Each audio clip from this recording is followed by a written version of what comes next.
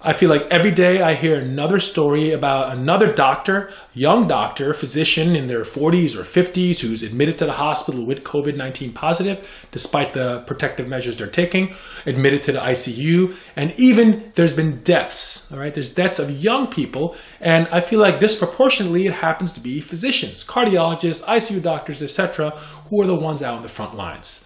What is going on here?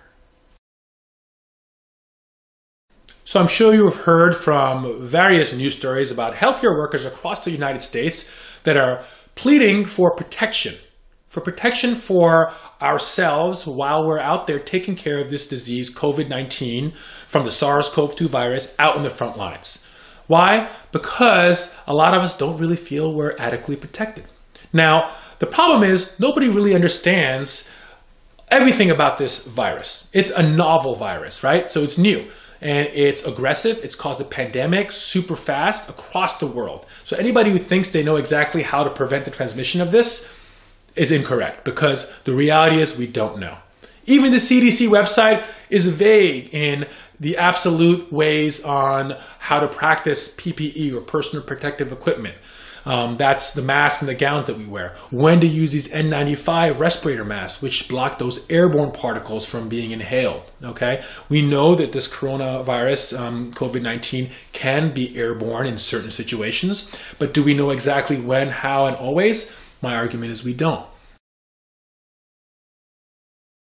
Now, in the United States, there's a lot of different avenues hospitals have taken in terms of what their policies are for protecting healthcare workers. So there's sort of two different camps at this point. Recently, a lot of hospitals have now mandated that anybody who walks into the hospital, whether you're a healthcare worker or a patient, you have to wear a surgical mask to protect yourself, which is wise. I mean, why not play it safe? Better safe than sorry, right? Look what's going on in Italy, all right?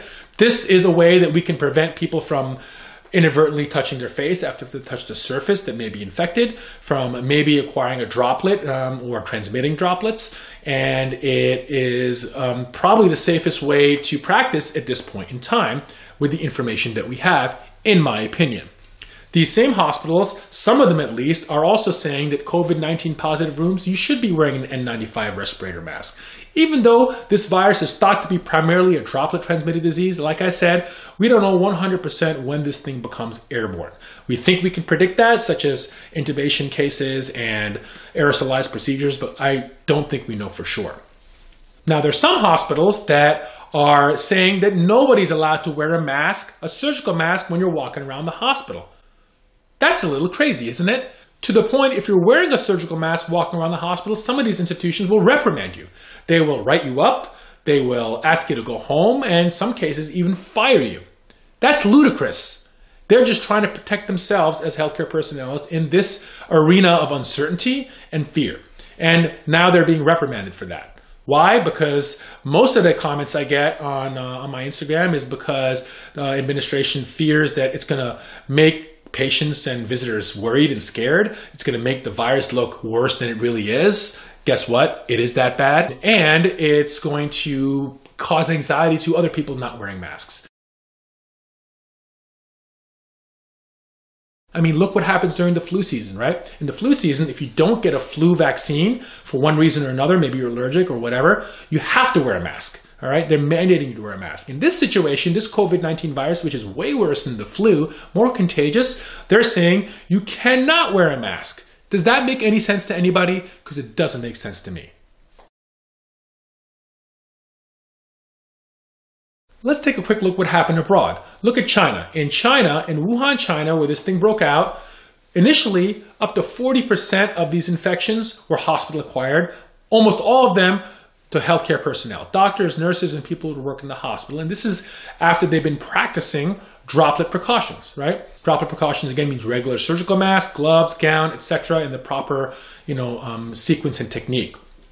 Now, after they brought in the outside physicians. They put everybody into these hazmat suits and PAPR hoods. These PAPR hoods are the ones you see with the plastic shield and the full-on hood to protect themselves from anything airborne, droplet, etc. After that, there was zero. Zero hospital-acquired infections. Let's take a look at Singapore. And this was um, this was discussed by Atul Gawande in his uh, New Yorker article. If you haven't seen that, I highly recommend you read it. I'll link it below. And in Singapore, they flattened their curve really quick, and they had zero, almost zero to my understanding, hospital acquired infections by healthcare workers. What do they do? Well, aside from aggressive hand washing, cleaning all the surfaces um, with disinfectant in between every encounter. They utilize surgical masks for every encounter and while they're in the hospital, all right? And every COVID 19 positive or suspected patient, they utilize an N95, all right? So they were aggressive and they got the job done in addition to all the social distancing that we're also doing here. So why can't we follow the lead from what we're seeing over there over here?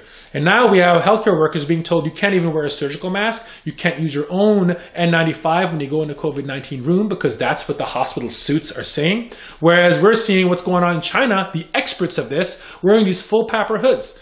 I don't understand it. Again, we're just trying to keep ourselves protected so we can take care of these patients. My stance is we got to keep ourselves protected. I understand there's a shortage, a shortage of N95s, but again, we can reuse these up to five times. And frankly, I'd rather use an N95 a sixth time with a surgical mask on top of it rather than risk myself from um, an infection by downgrading my mask if I think um, the risk is there. So again, this is my personal opinion. I obviously nobody really knows what they're doing because the policies for hospitals are all around the map from one end to the complete opposite end. Um, the CDC I don't think knows what they're doing either. So why not keep ourselves as protected as possible? Because I don't want more 40 year old doctors, 50 year old doctors getting admitted to the MICU, even dying because they weren't adequately protected because we don't understand this enough. So please, if you are a hospital, a hospital administrator out there, think about your staff, your doctors, your nurses, keep them protected because we're the ones who are trying to protect everybody else.